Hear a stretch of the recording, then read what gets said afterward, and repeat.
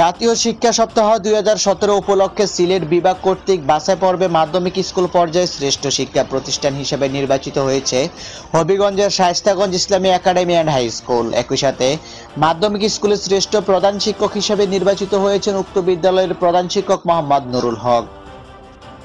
আলহামদুলিল্লাহ, আমাদের স্বাস্থ্যগঞ্জ ইসলামী academy high school দুই হাজার সতেরো শিক্ষাবর্ষে শিক্ষা মন্ত্রণালয়ের পক্ষ থেকে সিলেট বিভাগের শ্রেষ্ঠ স্কুল হিসেবে স্বীকৃতি দেওয়া হয়েছে। পাশাপাশি শ্রেষ্ঠ প্রতিষ্ঠান প্রধান হিসেবে আমাকে শ্রেষ্ঠ নির্বাচিত করা হয়েছে। এই জন্য মহান আল্লাহর কাছে আমরা প্রশংসা জ্ঞাপন করছি এবং পাশাপাশি শিক্ষা মন্ত্রণালয় এবং সরকারকে ধন্যবাদ জানাচ্ছি। যে তারা আমাদের কাজে স্বীকৃতি দিয়েছেন। এই শ্রেষ্ঠত্বের দ্বারা আমরা আমরা গর্বিত নয় আমরা বলব। আমরা বলব যে আমাদের কাজের পেশনা বাড়বে, ভবিষ্যতে আমাদের কাজের প্রতি আগ্রহ বাড়বে। আমরা আমাদের নির্দিষ্ট লক্ষ্যকে বুঝতে পারব বলে আমাদের বিশ্বাস।